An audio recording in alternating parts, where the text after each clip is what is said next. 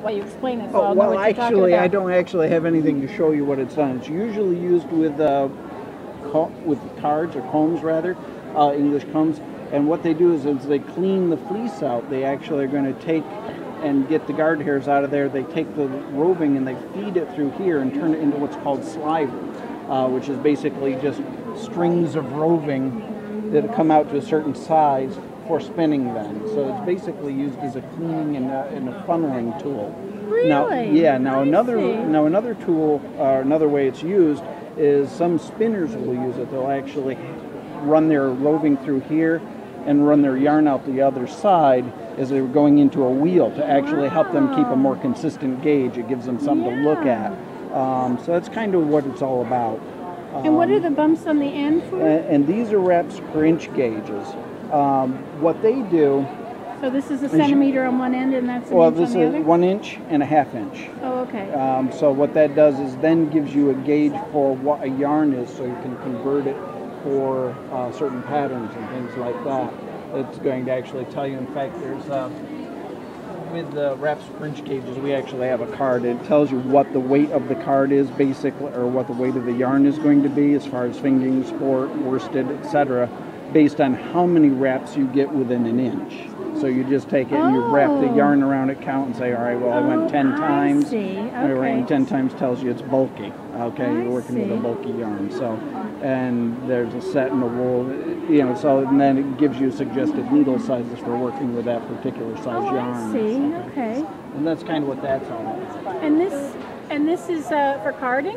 That's a, that's actually a tapestry beater or comb. Oh, And really? so when people are doing tapestry work, they will usually use a bobbin or a butterfly of yarn, and they'll do small sections and just beat down that area of the tapestry uh, and pack it down in with that. And so that's what that's used for. Isn't that interesting? Isn't this? And this was called a die, Uh, a diz, D-I-Z, D-I-Z, yeah, diz with. Diz or Rex French gauge. So it's a diz. That's a diz, yeah. Interesting. I never heard of that. Thank you. No, no problem. Very interesting here. Let me make, get out of the way. I'm right in the way of other people. Yeah. Sometimes these shows you can actually see somebody working with a diz. If you can find somebody that's doing uh, English combs, um, you can actually see them working with a of. Now this is for making those balls that pull from the middle.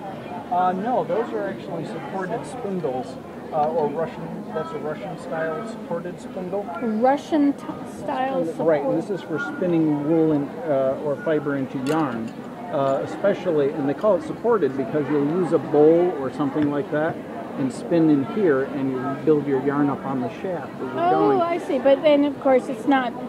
I guess it gets spin in it, doesn't it? It does get spin, yeah. In fact, uh, the way they actually teach spinning to children in uh, uh, down South America, especially Brazil, is they'll start them with just a stick, and, and they'll just have them do the, introduce the twist using a stick on their leg, and, and then Oh. once they've got some twist in there, then they draft out some, wrap it onto the stick, and then twist some more.